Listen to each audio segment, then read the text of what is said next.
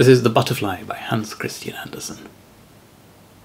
The butterfly wanted a sweetheart, and naturally he wanted one of the prettiest of the dear little flowers. He looked at each of them. There they all sat on their stalks as quiet and modest as little maidens ought to sit before they are engaged, but there were so many to choose from that it would be quite difficult to decide. So the butterfly flew down to the daisy, whom the French call Marguerite. They know she can tell fortunes. This is the way it's done. The lovers pluck off the little petals one by one, asking questions about each other.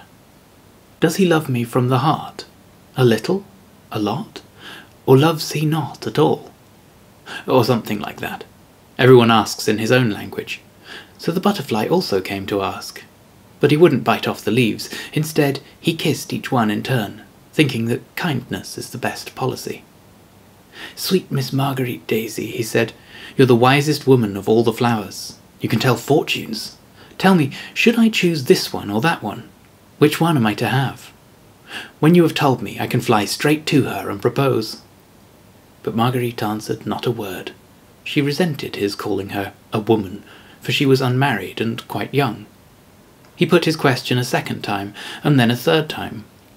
And when he still couldn't get a word out of her, he gave up and flew away to begin his wooing. It was early spring. The snowdrops and crocuses were growing in abundance. They're clearly very charming, said the butterfly. Neat little schoolgirls, but a bit too sweet. For, like all very young men, he preferred older girls. So he flew to the anemones, but they were a bit too bitter for his taste. The violets were a little too sentimental, and tulips much too gay. The lilies too middle class, the linden blossoms too small, and, besides, there were too many in their family.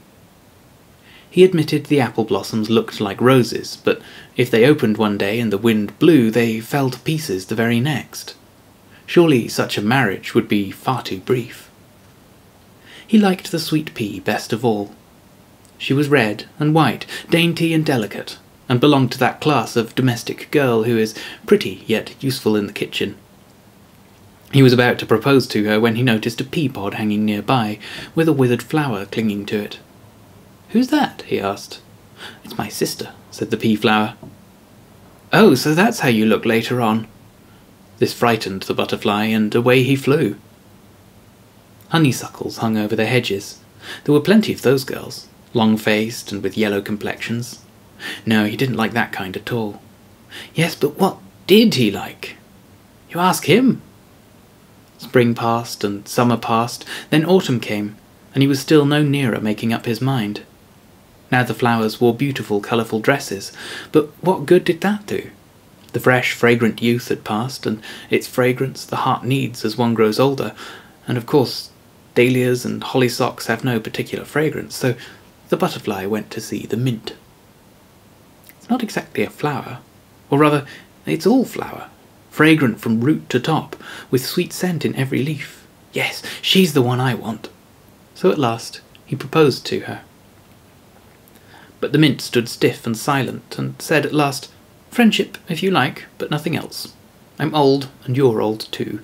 It would be all right to live for each other, but marriage? No! Don't let's make fools of ourselves in our old age. And so the butterfly did not find a sweetheart at all. He had hesitated too long, and one shouldn't do that. The butterfly became an old bachelor, as we call it.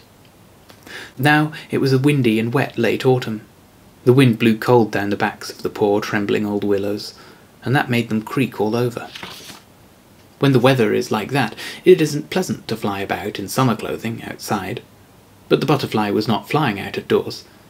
He had happened to fly into a room where there was a fire in the stove, and the air was as warm as summer. Here he could at least keep alive. But just to keep alive isn't enough, he said. To live you must have sunshine and freedom and a little flower to love. He flew against the window pane, was noticed by people, admired, and set on a needle to be stored in a butterfly collection.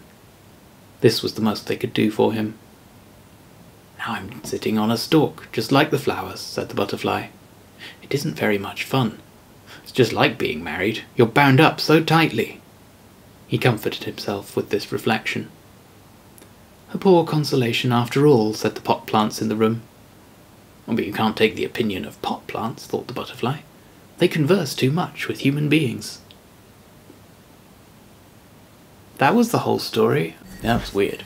Let's pick a new story for next week. I say next week. I'm sorry, I've been terrible with the timing of these. There'll be like one a week for three weeks, and then there'll be three weeks till the next. Oh dear. When I started this, I calculated that there'd be about seven years worth of videos of these at one a week, and uh, might be a few decades at this point. If I can keep going that long. yeah, that's two. There's one. Next time, we have uh, The Griffin by the Grimm Brothers, which know, but it sounds like it could be good. And it comes to the point of the video where apparently I have about 20 seconds to say if you like this, hit the like button, subscribe, there's more. Uh, there's a bell, you can click on that as well. Also, there's a link to my Patreon page in the description if you wish to support me there. There's also a link to my Goodreads if you'd like to follow what I've been reading. Um, but other than that, thanks for watching, and I'll, I'll see you next time.